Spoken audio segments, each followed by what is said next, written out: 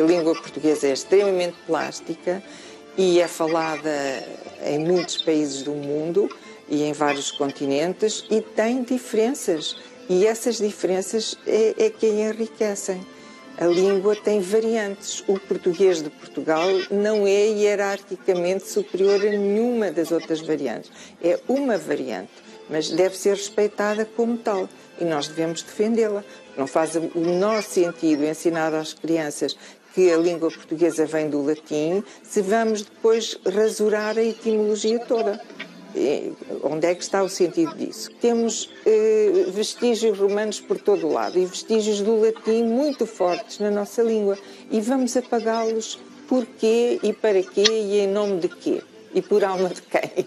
Não faz o menor sentido, porque os brasileiros fazem o que querem com, com a língua, não, não obedecem ao acordo ortográfico, estão, estão completamente uh, a olhar para o outro lado e fazem muito bem. Defendem a sua variante, variante brasileira, e nós devemos defender a nossa. Uh, Angola nunca aderiu a este acordo.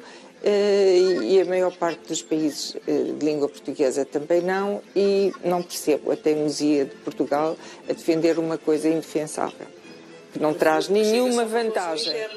Não tra... Eh, acaba por ser para consumo interno, eh, mas nós vamos a um hotel e vemos recessão escrito sem P e lemos recessão. Uh, e depois qual é a diferença fonética entre recessão, assim, uh, numa, escrito numa parede de hotel, e recessão económica? Por exemplo, porque a grafia acaba por influenciar a pronúncia das palavras.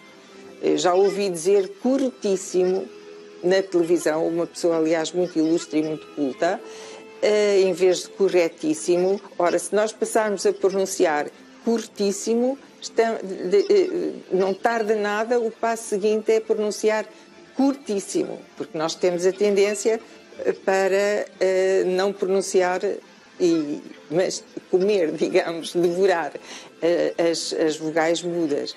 Portanto, vamos, vamos dar cabo da língua.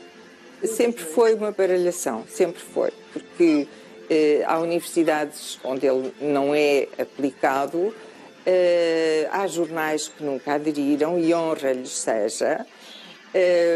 e muita gente, muitos professores ensinam o acordo contrariadíssimos, porque não estão minimamente eh, convencidos da sua utilidade. Pelo contrário, só trouxe eh, confusão à língua. E, portanto, é mais uma questão económica que se resolve rapidamente. Deixamos cair e os novos livros que forem editados tornam a grafia correta. Não é a ortografia antiga, como dizem alguns jornais, por exemplo, o Expresso, que eu não gosto nada de, de, ver lá, fulano escreve de acordo com a antiga ortografia ou segundo a antiga ortografia, não é antiga, é correta. Esta é uma ortografia ilegalmente imposta, porque não é por decreto que se impõe. A língua evolui, obviamente, mas não é porque umas quantas pessoas resolvem que vamos fazer um, um decreto e impomos esta norma eh, nas costas do povo e, na, e da vontade do povo. Não é assim.